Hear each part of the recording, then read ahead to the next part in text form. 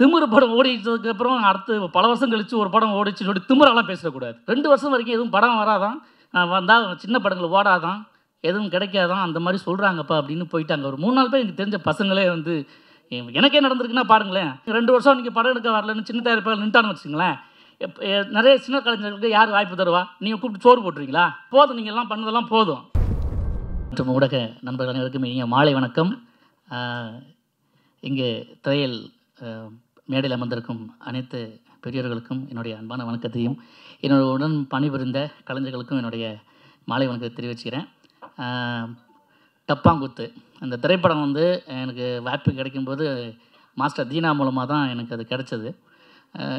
நடிக்க போய் ஷூட்டிங் போக ஆரம்பிச்சதுக்கப்புறம் தெரியுது நிறைய விஷயங்கள் வந்து ரீகலெக்ட் ஆகி ரொம்ப பெருமையாக இருந்துச்சு. ஒரு நடிகனுக்கு ஒரு நடிகனா நிறைய கேரக்டர் பண்ணணும்னு ஒரு ஆசை இருக்கும். அது ஒரே படத்தில் வந்து எனக்கு கிடைச்சது அப்படின்னு சொன்னால் அது டப்பாங்குத்து தான் அதுக்கு காரணம் வந்து குணா சாருக்கும் முத்துவீரா சாருக்கும் நான் நன்றியை சொல்லிக்கணும்னு ஆசைப்பட்றேன்.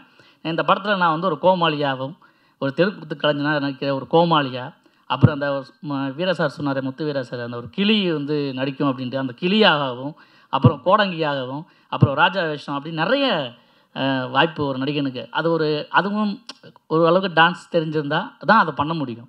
ஸோ எனக்கு ஒரு பெரிய அவ்வளோ ஒரு மன திருப்தி இந்த படத்தில் நடிச்சிட்டு இருக்கும்போது. சங்கரபாண்டியன் வந்து பார்த்திங்கன்னா திரும்பவும் பார்க்கும்போது மக்கள் நாயகன் ராமராஜன் மாதிரி எனக்கு கண்ணுக்கு தெரிஞ்சார். ஏன்னா மிக பிரமாதமான ஒரு இயல்பான கிராமத்து இளைஞனாக அப்படியே கண் முன்னால் நிப்பாட்டிருக்காரு ஒரு திரைக்கலைஞனா.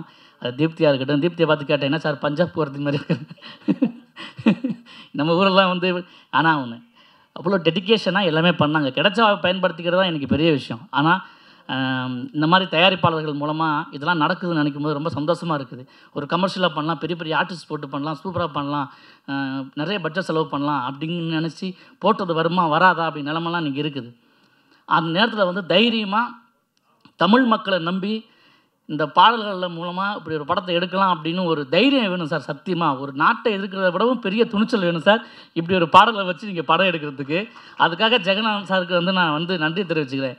சின்ன தயாரிப்பாளர்கள் தான் திரைப்படத்தை இன்ன வரைக்கும் எங்களை மாதிரி கலைஞர்கள்லாம் இன்னும் வாழ வச்சுக்கிட்டே இருக்காங்க. எத்தனை லட்சம் பேர் எத்தனை ஆயிரம் பேர் பொழைச்சிட்டு இருக்காங்க அப்படின்னு சொல்லி உங்களுக்கு எல்லாத்துக்குமே தெரியும். இப்போ சமீபத்தில் ஒரு படம் ஓடின்னு சொல்லிட்டு அதை சொல்கிறார் ஒருத்தர் அப்பா அந்த நாலு கோடிக்கு கீழே கா காசு வச்சுருக்கவங்கலாம் டெபாசிட் பண்ணிவிடுங்க படம் எடுக்க வராதிங்க அப்படின்னு.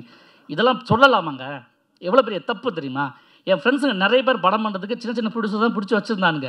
இந்த இன்டர்வியூ பயங்கரமாக பிரபலமானோடனே எல்லாரும் பின்னாடி ஓட்ட தம்பி ரெண்டு வருஷம் வரைக்கும் எதுவும் படம் வராதான்? வந்தால் சின்ன படங்கள் ஓடாதான்? எதுவும் கிடைக்காதான்? அந்த மாதிரி சொல்கிறாங்கப்பா அப்படின்னு போயிட்டாங்க. ஒரு மூணு நாள் பேர் எனக்கு தெரிஞ்ச பசங்களே வந்து எனக்கே நடந்திருக்குன்னா பாருங்களேன். அதாவது திமிரு படம் ஓடிச்சதுக்கப்புறம் அடுத்து பல வருஷம் கழித்து ஒரு படம் ஓடிச்சு சொல்லி திமிரெல்லாம் பேசக்கூடாது. அது வந்து ரொம்ப தப்பு அது. ஏன்னா அது நம்ம என்ன அதாவது உடனே நீங்கள் ரெண்டு வருஷம் நீங்கள் படம் எடுக்க வரலன்னு சின்ன தயாரிப்பாளர் நின்ட்டான்னு வச்சுங்களேன் நிறைய சின்ன கலைஞர்களுக்கு யார் வாய்ப்பு தருவா? நீங்கள் கூப்பிட்டு சோறு போட்டுருவீங்களா? சாப்பாடு போட்டுருவீங்களா? உங்களை நான் வாழ வச்சுருவோமா? போதும் நீங்கள் எல்லாம் பண்ணதெல்லாம் போதும். ஏன் இப்படிலாம் பேசுகிறீங்க தயவு செய்து நீங்களாம் வாங்குன்னு தைரியம் சொல்லி வ- வரவழைக்கிறத விட்டுவிட்டு நீங்கள் வந்து நீங்கள் வராதீங்க. டெபாசிட் பண்ணி நல்ல விஷயம் தான். டெபாசிட் பண்ணுங்கள் உங்கள் பிள்ளை கொடுத்து வாழ வைங்க ரெண்டு வருஷம் கழிச்சு வாங்கன்னு அரசியல் பேசுவதையெல்லாம் நீங்கள் வந்து வேறு மாதிரி யூஸ் பண்ணிக்கணும்.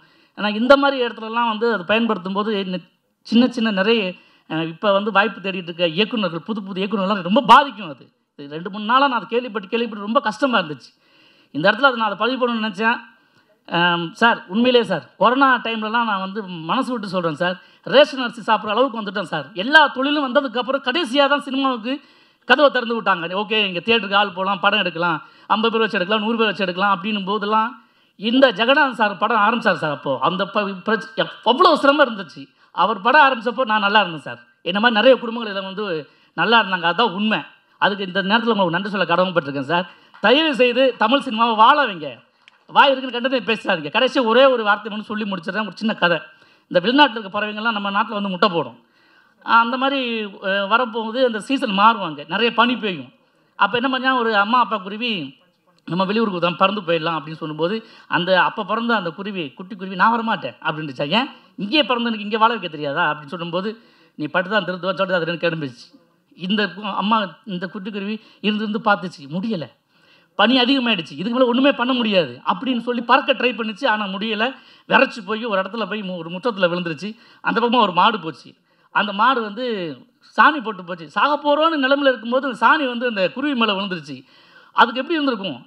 அப்படி அந்த இளம் சூட்டில் அந்த சாணி மேலே விழுந்தோம் அஜோஜோ அப்படின்னு ஒரு பயங்கரமான ஆச்சரியமா இருக்குது நம்ம எவ்வளோ எவ்வளோ இருக்குது அப்படின்னு பாட ஆரம்பிச்சிச்சு பாட ஆரம்பிச்சோன்னா அந்த பக்கமாக வந்து ஒரு பூனை போச்சு. என்னடா அது சாணிக்குலேருந்து சவுண்டு வருது அப்படின்னு ஓப்பன் பண்ணி பார்த்துச்சு. உள்ள ஒரு சிட்டுக்குருவி இருந்தோன்னா அது வாயில் போட்டு சாப்பிட்டு போயிடுச்சு இந்த ஜென் கதையை சொல்லிவிட்டு மூணு தத்துவத்தை சொல்கிறாங்க ஒன்று என்னென்னா நீங்கள் வந்து உன் மீது சாணியை அடிப்பவன் எல்லாம் உன் எதிரியாக இருக்கணும்னு அவசியம் இல்லை. ரெண்டாவது உன்னை சாணியிலேருந்து காப்பாற்ற முயற்சி பண்ணுறவங்களாம் உன் நண்பனாக இருக்கணும்னு அவசியம் இல்லை. மூணாவது நீ சந்தோஷமாக இருக்க நான் ஜாலியாக இருக்க நல்லா இருக்குன்னா வாயை முட்டு சும்மா இருக்கு நீ சத்தம் போட்டதுனால ஒருத்தன் வந்து உன்னை கா சாப்பிட்டு போயிட்டான் அவ்வளோதான் ஸோ இந்த இந்த கதை நான் எதுக்காகவும் சொல்லலை. சந்தோஷமாக இருந்தீங்கன்னா யாருமே எதுவுமே சொல்லாதீங்க. ஏன்னா நல்லா நம்ம மற்றவங்க வழிவிட்டால் தான் நமக்கு மற்றவங்க வழி விடுவான் நாம் நீங்கள் என்ன கொடுக்குறீங்களோ அதை திரும்ப உங்களுக்கு கிடைக்கும். அதையும் ஞாபகம் வச்சுக்கோங்க. ரொம்ப நன்றி. அந்த திண்டுக்கல் யோனி சார்லாம் நம்ம தீவிர ஃபேன் பக்கத்தில் இருந்தோம்னா மிரட்சியில் கிட்ட போல யாராவது போயிட்டு ஒரு செல்ஃபி எடுத்துருவேன். அண்ணே உங்களெல்லாம் நாங்கள் படிச்சுட்டு இருக்கும்போது காலேஜ் ஸ்கூலில் நம்ம பைய ஊரை அப்படியே அப்படியே உருவாக்கி அப்படி மிமிக்கெல்லாம் ஒன்று ட்ரை பண்ணுவேனே. ஒரு நல்ல கலைஞன் வந்து ஒரு பெரிய கிடைக்க அங்கேயே என்ன தெரியுமா? அவனை ரொம்ப ரசிச்சதுக்கு அப்புறம் அவனை மேடையில் பிரதிபலிக்கிறது. அவனை மாதிரி பேச ட்ரை பண்ணணும் அப்படின்னு சொல்லும்போது அந்த கலைஞனுடைய உச்சம் என்னன்னு தெரியும். அப்படி நிறைய மிமிக்ரி கலைஞர்கள்லாம் திண்டுக்கல் லியோனியோட வாய்ஸை வந்து இது பண்ணியிருக்காங்க. நடிகராகவும் ஜெயித்தவர் இன்றைக்கி வந்து கடைசியில் கண்ணாடி என்னன்னா விருமாண்டி படத்தில் வந்து நாங்கள் ஒர்க் பண்ணிகிட்ருக்கோம் இந்த கிராக்குழிய மாதிரியும் அந்த இந்த டீம் ஃபுல்லாகவே உங்கள் பாட்டுக்கெல்லாம் எங்களுக்கு ஒரு பெரிய என்ன கடைசினா இப்போ இருக்க இந்த பாடல்களுடைய அருமையெல்லாம் இப்போ உள்ள இந்த ரெண்டாயிரம் குழந்தைகள் சாரி டூ கே கிட்ஸுக்கெல்லாம் நான் தெரியறதுக்கு மிகப்பெரிய வாய்ப்பாக இந்த டப்பங்குத்து படம் அமையும் என்ற போன கலைஞர்களுக்கு ஒரு வாய்ப்பினை வழங்கிய அண்ணன் குணா சார் அவர்களுக்கும் அப்புறம் இயக்குனர் முத்துவீரா சார் அவர்களுக்கும் திரு ஜெகநாதன் சார் தயாரிப்பாளர்களுக்கும் என்னுடைய அன்பாக நன்றியை தெரிவிச்சுக்கிறேன். நன்றி வணக்கம். ஏதாவது பேசி தப்பாக பேசினா என்ன மனுஷங்க நன்றி வணக்கம்.